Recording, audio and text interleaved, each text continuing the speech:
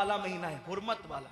यानी जिन चार महीनों की हुरमत अल्लाह ने रोज अव्वल से मुकर्र की है उसमें मुहर्रमुल हराम भी है।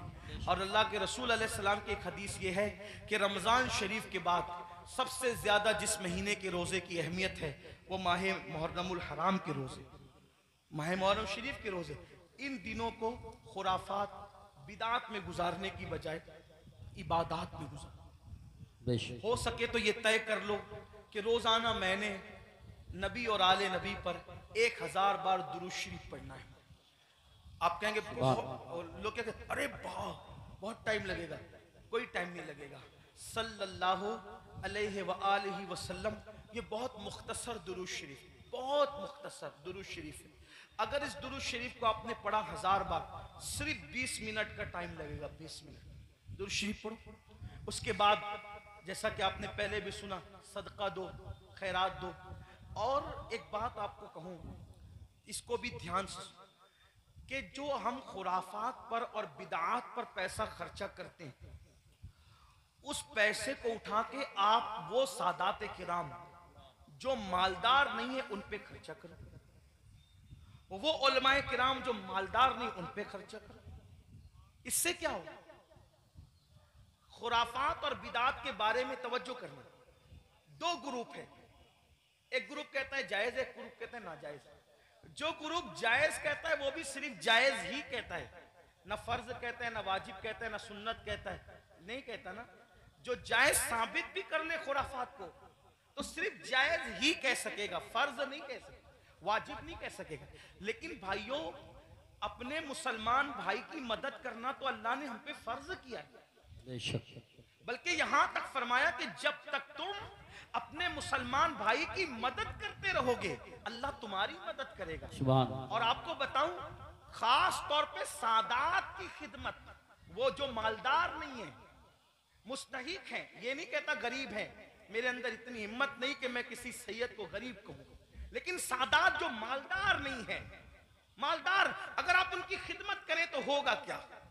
दो तीन बातें सुन ले बात खत्म करते हज़रत सैयदना अब्दुल्ला इब्ने मुबारक रदी अल्लाह हज को जा रहे थे। हज का इरादा था। और हज के इरादे में आपने ये तय किया कि मैंने हज को जाना है। पूरी तैयारी हो गई, इरादा बन गया हज को जाना। अब्दुल्ला इब्ने मुबारक को पता चला कि मेरे पड़ोस में एक सैयद साहब रहते हैं। और वो इस वक्त तो थोड़ा परेशान हाल है, हालात के सताए हुए और हालात के मारे हुए। तो उन्होंने सोचा कि पड़ोसी है, सैयद है, मैं उनके नाना के यहाँ जाऊँ, मैं हज के लिए जाऊँ और इनको भूखा प्यासा तड़पता बिलकता छोड़ के जाऊँ। तो उन्होंने क्या किया? इस साल हज नहीं करेंगे, इंशाल्लाह आइंदा फिर कभी देखेंगे। हज की पूरी रकम उठाकर उस सैयद साहब को दे दिया। और उसके बाद आँसू पोछते हुए अब सब्र करते हुए रह गए। जब हज से काफला वापस आया तो लोग मुलाकात करते थे तो अब्दुल्ला इब्ने मुबारक लोगों को कहते थे, मुबारक हो हज। तो लोग भी कहते थे, अब्दुल्ला, आपको भी मुबारक हो, आपको भी मुबारक हो। हज़रत अब्दुल्ला इब्ने मुबारक सोचते, या अल्लाह, मैं गया नहीं, लेकिन जो आता है मुझे हज की मुबारकबाद देता है। इसी फ़िक्र में थे, आँख लगी तो ख्वाब में गैब से निदाई, कोई कहने वाला कहता है, अब्दुल्ला इब्ने मुबारक, तूने मेरे नबी के शहजादे की मदद के लिए हज को मुलतवी कर दिया। तो तेरी ये अदा इतनी पसंद आई कि हमने तेरा हम शक्ल एक फरिश्ता पैदा किया है जो कयामत तक तेरी तरफ़ से हज करता रहेगा और उसका सवाब तुझे मिलता रहेगा। इसलिए अल्लाह।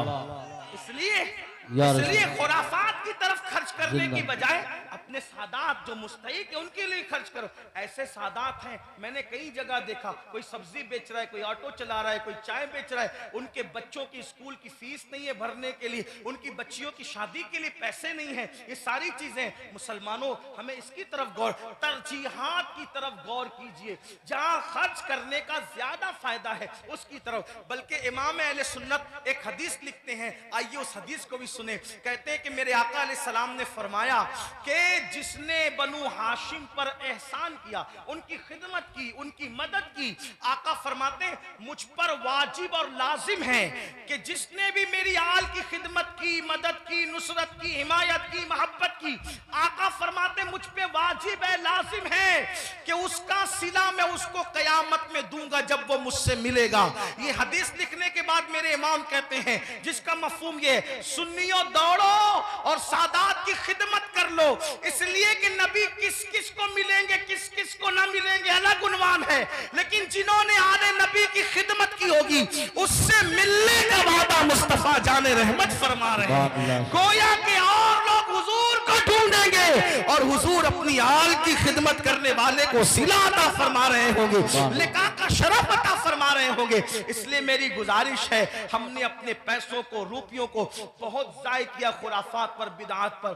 क्या खुराफात है, क्या बिदात है? अपने इलाके के मुस्तनद मोतबर, उलमा और मुफ्तियान किराम के पास बैठो और बैठ करके सीखो कि किन खुराफात से और बिदात से बचना है और कौन सी चीज़ें अहल सुन्नत व जमात से है? जैसे कि लोग तो शरबत पिलाने को भी बिदत कह देते हैं। आपसे कहता हूँ कि भाई, शरबत पिलाना कौन सी बिदत है? मेरे इमाम लिखते हैं वो भी। क्या दलील दी? फरमाया जब कुत्ते को पानी पिलाने पे जन्नत मिल सकती है। तो इमाम आली मकाम के नाम पे अगर मोमिनों को शरबत पिलाया जाए तो फिर उसका सिला क्या होगा? सुभान सारी चीज़ें करते रहिए अल्लाह ताला से दुआ है। अल्लाह हम सबको तौफीक दे गुफ्तगू के दरमियान। अगर कोई गलती हो जाए तो अल्लाह ताला माफ़ फरमाए। अस्तगफिरुल्लाह रब्बी मिन ज़ंबि व अहले सुन्नत का है बेड़ा पार। असहाबे हुजूर नज्म है और नाव है इतरत रसूलुल्लाह की। अस्सलाम वालेकुम व रहमतुल्लाहि व बरकातुहू बैठो अभी हज़रत का नूरानी खिताब होगा